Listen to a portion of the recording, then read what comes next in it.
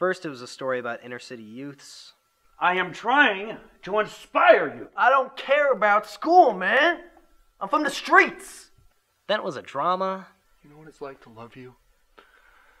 To want more for somebody than they want for themselves. Think about you every minute of every day and every second of every dream. Uh, I, I, I, I, I, I can't. Then it was a Western musical.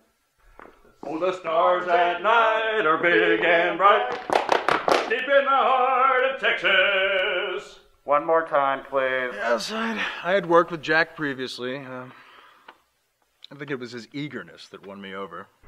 So I really think that the pinks and the oranges are really going to set uh, the scene I know you guys are busy talking and stuff, but I can totally grow a beard for this scene.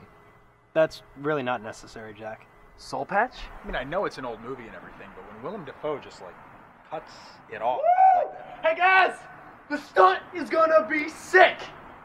You ready? There's absolutely no stunt in this scene, Jack. No stunt, Jack. There's no stunt in this scene. I'm doing it anyway! Oh, here I go, baby! I think the story's supposed to be a little more inspirational than what Hey you're fellas, I'm totally down to do this scene nude. What? Why? I I thought he was kind of annoying, but uh, everybody else seemed to like him. Jack had the nicest red hair. Jack had this intangible essence about him. It was just intangible. Jack's intangibles were completely intangible. That son of a bitch was the most dedicated actor I had ever seen.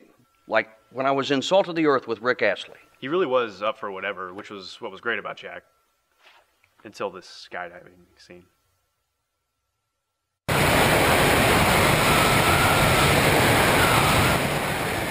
The world lost a great talent that day. Jack could have been the greatest star of his generation. He really could have been somebody. He could have been a contender. Instead of just a bum, which is what he was, let's face it. What? Poor Jack. Better him than me. Talk about method. Wow.